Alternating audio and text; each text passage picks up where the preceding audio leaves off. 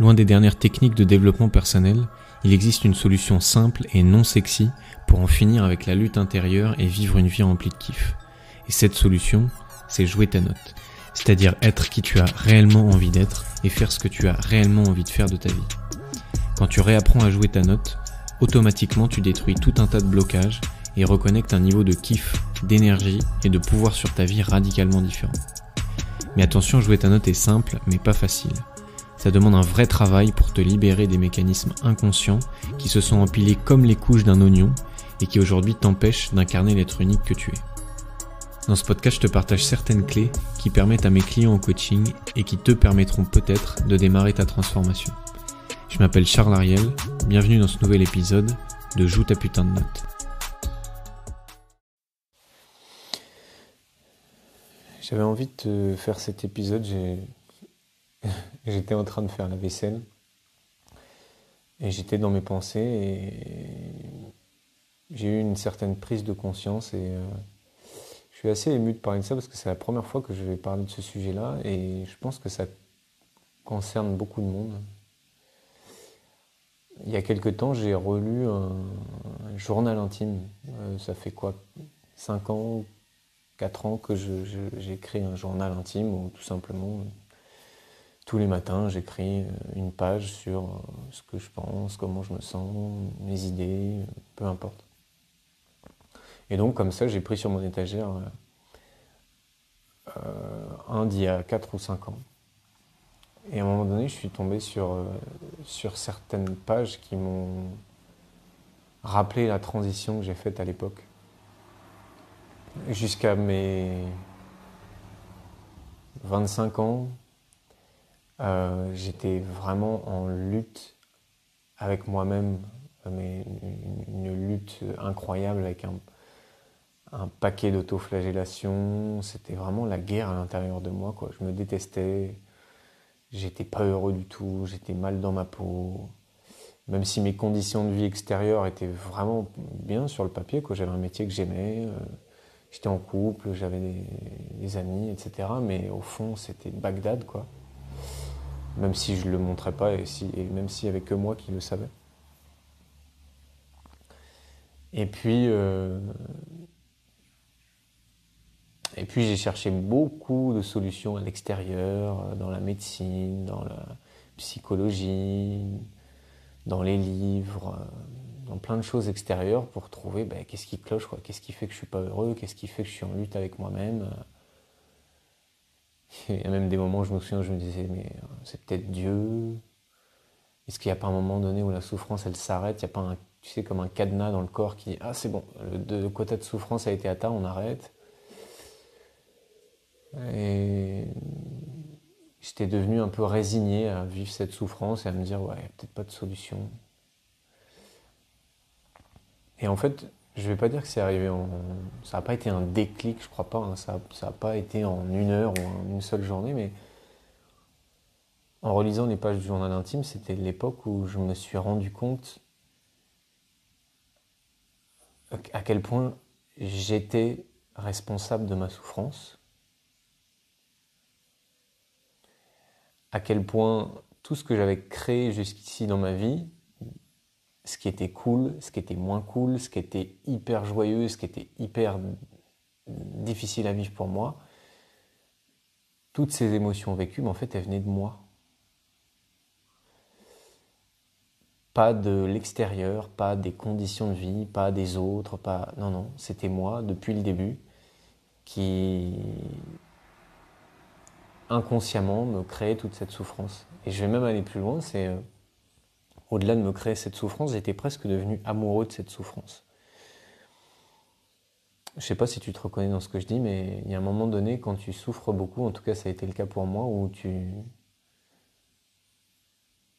bah, tu, tu, commences à, être attaché à ta souffrance, tu commences à t'identifier à ta souffrance, à, à te dire, bah voilà, moi je suis quelqu'un qui souffre, moi je suis quelqu'un qui a vécu telle ou telle chose dans le passé, moi, je suis quelqu'un qui a eu une vie difficile et donc, euh, évidemment, c'est pas facile pour moi d'être heureux. Et j'étais devenu hyper attaché finalement à ce poids-là, à cette souffrance-là. Et il a fallu que je passe par cette phase de me rendre compte à quel point il y avait un côté où je détestais ma souffrance et j'avais qu'une envie, c'était m'en débarrasser, et un côté à quel point j'étais devenu amoureux de ma souffrance, fier de ma souffrance. Intérieurement, même si je le disais pas aux autres, c'était presque une fierté, c'était une fierté pour moi de dire ah ouais mais moi j'encaisse, moi j'endure, moi je suis bien malheureux, moi je suis unique parce que euh, je souffre euh, dix fois plus que la moyenne des gens. Je suis peut-être même un des êtres humains sur Terre qui souffre le plus. Et il y a un côté où ça me rendait exceptionnel, à mes yeux en tout cas. Et j'ai dû me rendre compte de ça, de ok, il y a une partie de toi qui veut vraiment euh, te débarrasser de cette souffrance, et il y a un côté de toi qui, aime cette souffrance, qui en a fait une deuxième peau, et, euh, il va falloir enlever cette deuxième peau si tu veux vouloir enlever cette souffrance. Il va falloir enlever les avantages qu'il y a avec. Parce que mine de rien, ouais, j'avais des avantages à souffrir. Parce que quand tu es en souffrance, bah, ça te donne une excuse pour pas créer ta vie. Ça te donne une excuse pour pas prendre de risques. Ça te donne euh, une certaine fierté intérieure, comme je disais tout à l'heure, d'être euh, le guerrier qui souffre et qui est toujours debout malgré tout. Et je sais que ça, je le vois chez, chez certaines personnes, dont certaines que j'ai accompagnées ou que j'accompagne même en ce moment. Je pense à une personne en particulier.